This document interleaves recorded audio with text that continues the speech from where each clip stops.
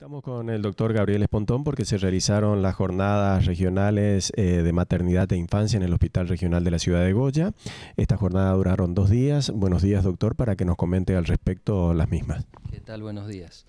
Bueno, estas fueron unas jornadas de toda la zona sanitaria que corresponde al hospital, que se trató fundamentalmente para coordinar lo que es la captación, control, seguimiento y apropiada derivación de la paciente embarazada. Estas, eh, estos temas que se trataron puntualmente estaban orientados a, eh, a, médicos o a personal en general de la salud? No, en esto es fundamental hacer hincapié que en lo que es el control de la embarazada y su correcto seguimiento y, y, y su atención debe estar comprometido desde el agente sanitario hasta la dirección del hospital, con todos los médicos enfermeros, servicios que están en el medio, digamos. Eso es fundamental para poder hacer una, una correcta atención de toda la población, ya que una de las condiciones, por eso hablamos de captación, el médico muchas veces está en su consultorio y no llega la paciente al consultorio. Otras veces llega al consultorio la paciente o al centro periférico, pero luego no llega al hospital o no llega a tener la atención correspondiente por un montón de, por una serie de problemáticas que existen en la atención de la salud pública fundamentalmente.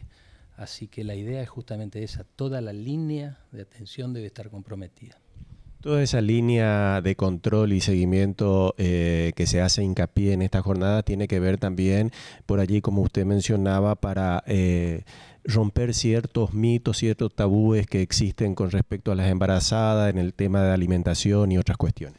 Eso es fundamental, hablar de mitos y tabúes en el embarazo. Eh, hay una, una, una de las funciones que tenemos todos los agentes que participamos en el control de una embarazada es justamente la docencia. Hay que empezar a hacer docencia con la paciente embarazada, tanto en el momento de inicio de su atención, saber que la atención debe ser temprana, como en, el, en la alimentación, eso es una cosa fundamental porque es uno de los problemas más serios que estamos teniendo hoy, la mala alimentación.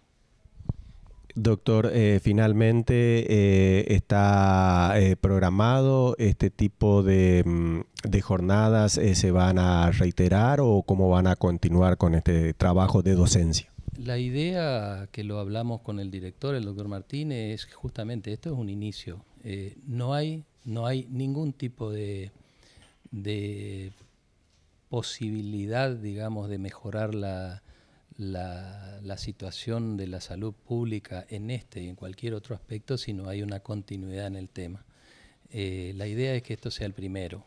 Eh, periódicamente, ya veremos después, ir haciendo un feedback, un, intercambio de siempre de, una comunicación permanente, digamos, con los centros periféricos y seguir, seguir. Si no hay continuidad, continuidad, eh, no, hay no, no, no vamos a lograr ningún resultado a futuro. Desde el Estado, de la parte de salud pública, está eh, hecho esta primera parte y esta continuidad de trabajo, pero también el, la responsabilidad del paciente de cumplir y estar atento eh, a, acompañar el, seguimiento que le hagan eh, los profesionales médicos o, el personal de salud. Absolutamente, por eso te hablaba de docencia toda persona, todo ser humano lo que quiere es lo mejor para sí mismo y para sus hijos, o sea, cuando a uno se le explica, cuando a la gente se le explica, se le enseña, se le, se les hace ver el porqué de las cosas, lo entiende perfectamente y se adapta y, acompaña, porque el objetivo nuestro es justamente ese, la, la mejoría de la situación de cada persona, de cada embarazada en sí. Doctor, muchísimas gracias, muy amable. Al contrario, gracias a usted.